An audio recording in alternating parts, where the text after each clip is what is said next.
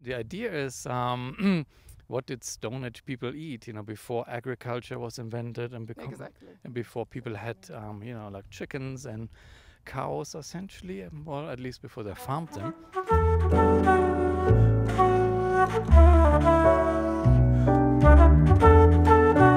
Hello, everyone. Uh, Thomas Weimbs here from Santa Barbara Nutrients. um, I'm here with Orsolya Szathmari.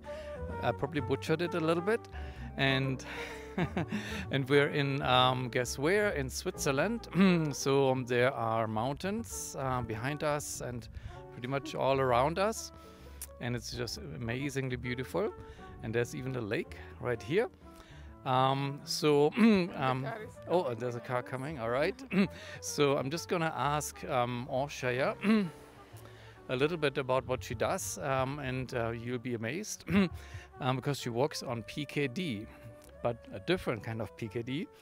Uh, it stands for Paleolithic Ketogenic Therapy. No, Diet. diet. Sorry. Paleolithic ketogenic diet. Okay. yes. So PKD um, in her world um, stands for Paleolithic um, Ketogenic Diet. So what is a ke- Paleolithic ketogenic diet? Let's start there. Yes, so the, it's a ketogenic diet. It's a type of a ketogenic diet which includes nutrients only what we hypothesize that they also existed in the Paleolithic times. So that means that we excl- exclude food groups such as all grains and cereals, uh, all legumes, all milk and milk products, uh, nightshades, and plant oils. All right. I think Paleolithic um, stands for Stone Age, right? That's the good old Stone Age people. And I guess it, the idea is um, what did Stone Age people eat? You know, before agriculture was invented and become, Exactly. and before people had um, you know like chickens and cows essentially um, well at least before they farmed them Yes, exactly. So this is uh, uh, the animals which we eat in with what we eat. Also, it's uh, four-legged animals, um, and these were wild animals. But today, of course, we eat also beef and lamb, so domesticated animals.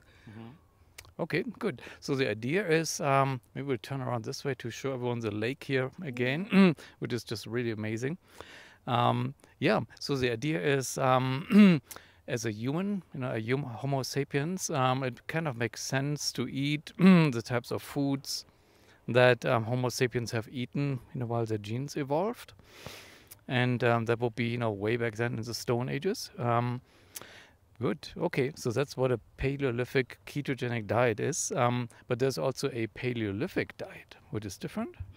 Yes, because the Paleolithic, uh, Paleolithic diet is not ketogenic. So in the in RPKD, uh, one important or the very important part is that we have to be in ketosis. So the ketogenic it has to be ketogenic. Good.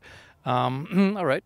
And then how does it kind of look like? So it's meat heavy, right? Um, but not all meats. Um, there's only animals on with a certain number of legs allowed. Is that right? Exactly. So actually, this is not a meat-heavy diet. This is a high-fat diet and a moderate protein diet, and a very low carbohydrate diet. Okay. So high fat, but where does the fat come from? And the fat comes from animals. So we eat only animal fat, and uh, the fat to protein ratio has to be two to one. Okay. so two times the fat for one times the protein. Exactly. And what kind of um, meats are there that you know that are kind of included? Uh, beef, mostly beef, lamb, and goat or venison as well. Not that much, but uh, actually, four-legged animals. We also eat pork if the pork is from a good source. I mean, it has to be organic and pasture raised. Okay. What about um, what about winged animals with um, you know chickens and stuff?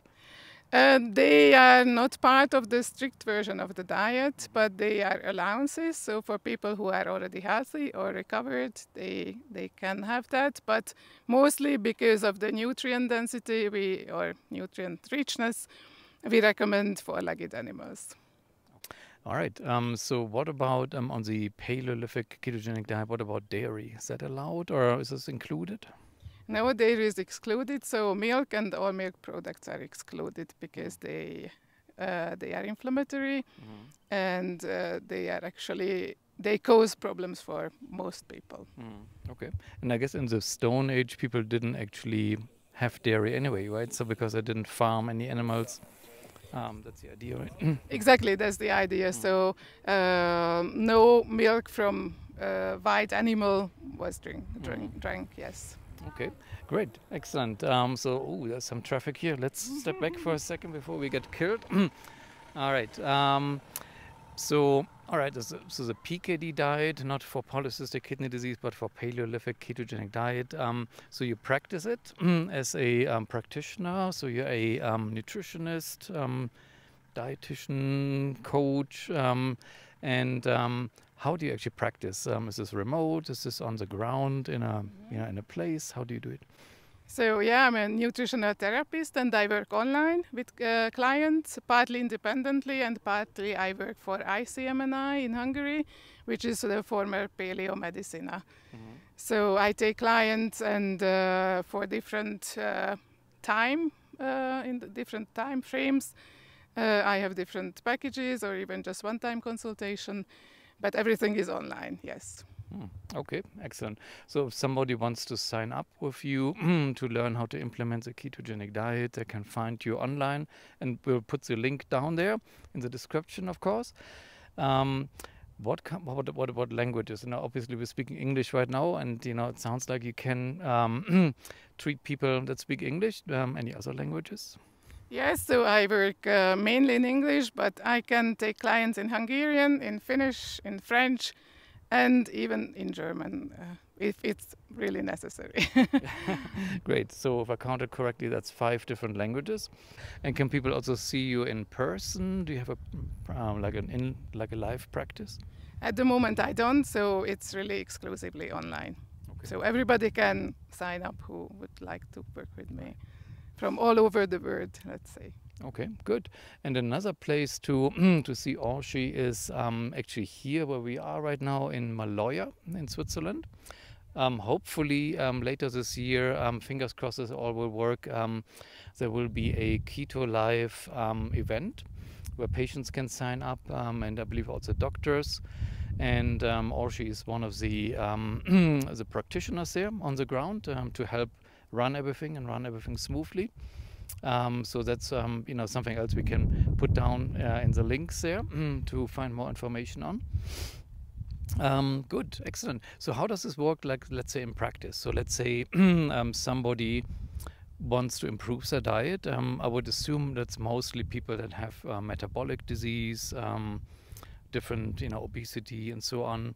Uh, they want to do something about it how does this look like? So they contact you, they sign up with you. Do you have like packages? Um, mm-hmm. Is it like hourly? Um, and is this how how long does the process take until somebody improves and and you know gets the diet right? Okay, so I have different uh, packages, but if somebody signs up just uh, by email. Uh, then I will send them a questionnaire. So they, it's a quite long questionnaire and history they have to fill in and based on that, we will have the first consultation online via Zoom, and that can last um, about one and a half hours. And after that, depending on the length of the package, um, then we will have different uh, amounts of calls and email or WhatsApp contacts. So yes, uh, people with every kind of conditions, of course, can come who just would like to um, improve their health. Uh, I mean, uh, mostly metabolic uh, diseases, actually, yes. Okay, good. And um, so um, Osha has also been. Um, you know, learning all about kidney disease, um, and um, you know that's kind of part of what um, what we're doing here at this um, um, Keto Live conference, where we that actually just finished. So this is kind of the after party where we are hanging out mm-hmm. right now. so there was a big section on kidney disease. And um, uh, so, if somebody is out there with, you know, not only metabolically unhealthy but also has kidney disease, um, how how does that look like? So, um, a Paleolithic ketogenic diet doesn't necessarily have to be. Um, so there's not only one formula, right? So I, I, would assume that people that want to eat less meat or maybe you know have trouble with certain foods, um, there's some way of adapting the diet. Is that right? Yes, of course. I mean, the paleolithic ketogenic diet itself, it's it's uh, uh, moderate in protein, so also for kidney patients, uh, it's perfectly uh, applicable. And as it also excludes most plants, so all the oxalate high foods and uh, or phosphate foods, uh, it's totally fine for kidney patients. It's it's a ketogenic diet, so it's high in fat, but this is not an issue for them. And the recommended amount of protein is 0.8 uh, gram per kilogram body weight. Okay, great. So that was actually, I think, an important point. Um, this particular diet is, um, you know, very doesn't have a lot of plant foods, uh, which also means um, there's essentially no oxalate burden. Uh, so if somebody, you know, struggles with oxalate, uh, for example, that would uh, certainly be one option um, to, you know, to go Paleolithic uh, keto. Um, and um, another important uh, uh, thing you just mentioned is that it's all a whole foods diet, right? So there's no processed foods, mm-hmm. um, and I'm sure that is tricky for many people, you know, that want the convenience of a, a bar and so on. Um, how does that work with your clients? I mean, is this um, easy to implement in, in, their daily lives? Do they struggle? Do they yell at you? Do you have to yell at them to convince them? No, actually, this is actually a very important point that this is a whole food-based diet. So we don't uh, recommend any pro or we don't use any processed food foods. And uh, the strict version of the diet, which is for people who have uh, serious illness, it actually doesn't contain any plant foods. So it uh, it consists of uh, meat, fat, and organ meats from four-legged animals. So actually, all, all the problematic foods for the PKD patients are excluded. Mm-hmm. Good, excellent. So I would say if anyone out there um, is interested in remote coaching from someone who really knows what she's talking about. Mm-hmm. Um, and wants to um, give it a try, um, becoming you know ketogenic, um, fixing up their metabolism, maybe their kidney disease. Um, I think this is a great option. Um, even though this is a little bit different from the say the renew program which is more plant focused um, and but usually uh, you know i wouldn't have any concerns there especially if you know unless somebody's like near end stage renal disease or anything like this um, so i think uh, a lot of the features of the paleolithic um, ketogenic diet um, are just fantastic for people with kidney disease as well. Um, and um, is um, you know a terrific teacher um, available in five languages um, online um, in the you know Switzerland time zone. Um, so we'll put a link down there. Great, thank you so much, Orshi. Thank you very much. Thank you.